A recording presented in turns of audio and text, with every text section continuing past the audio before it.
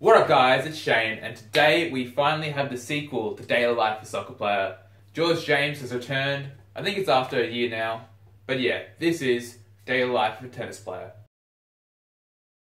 Last time we saw George James, he was a professional soccer player, dazzling the world with his skill. Now he's decided to become a professional tennis player. Hi, I'm George James and this is my life.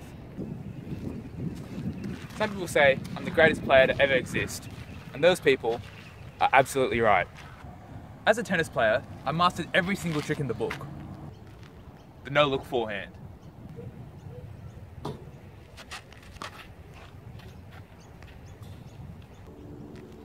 The no-look backhand.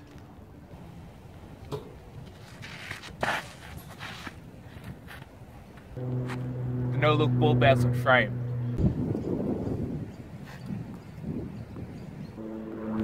Through the legs. Oh! They say you need to be very skillful to hit a slice that comes back over the net. But I can do something better.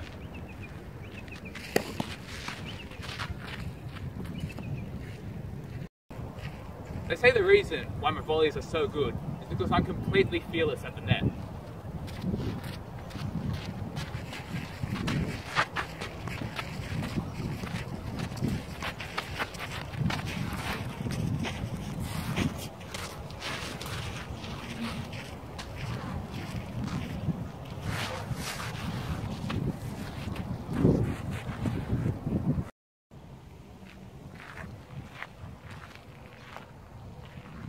People often try and copy my service motion in order to be half as good as I am when I'm having a bad day.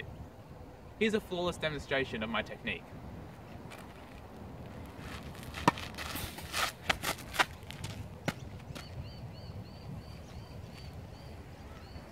Mate, I think I've hit it so hard that even Hawkeye couldn't pick it up.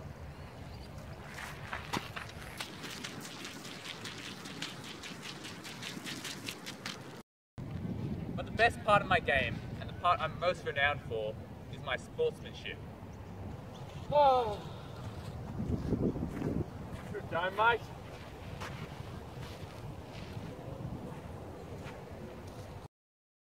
Thanks for watching. Make sure you check out part one if you haven't already seen it. But yeah, hope you enjoyed it. If you did and you want to see more videos like this, make sure you like, subscribe. Until next time, see ya.